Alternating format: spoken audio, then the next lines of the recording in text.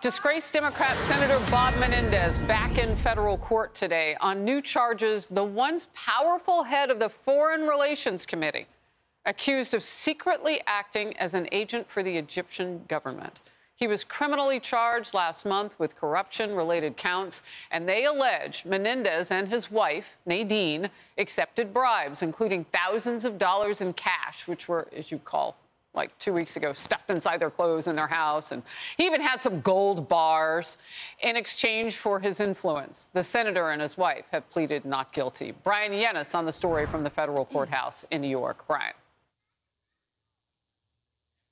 Harris, good morning. Well, it is illegal for members of Congress to work as foreign agents, but that is exactly what Democratic Senator Bob Menendez is charged with doing in this new superseding indictment, secretly promising to take actions that benefit the government of Egypt in exchange for bribes. Now, look, new photos uh, show Senator Bob Menendez side by side with Egyptian officials and military officials, as well as alongside co defendants, his wife, Nadine, and Egyptian businessman Wael Hana. The meetings were held at the senator's Washington, D.C. office, as well as a D.C. steakhouse and the private residence of an Egyptian official in Egypt. Investigators say thousands of text messages reveal a corrupt triangle in which Egyptian military and intelligence officials officials made requests of Senator Menendez through Hana and Nadine in exchange for hundreds of thousands of dollars in gold bars and cash. And as chairman of the Foreign Relations Committee, Senator Menendez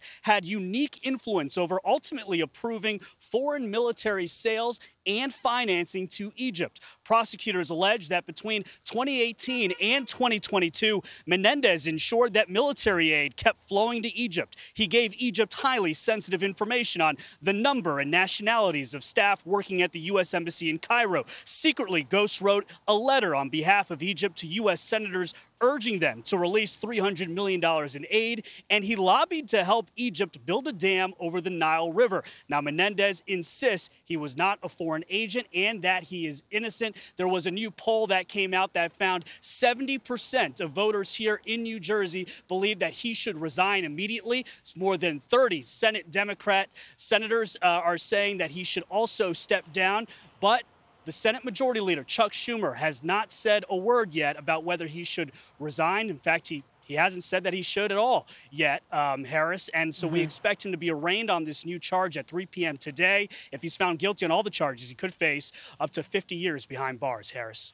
All right, Bryan, thank you very much. We'll stay on that story where each week there are new charges against him.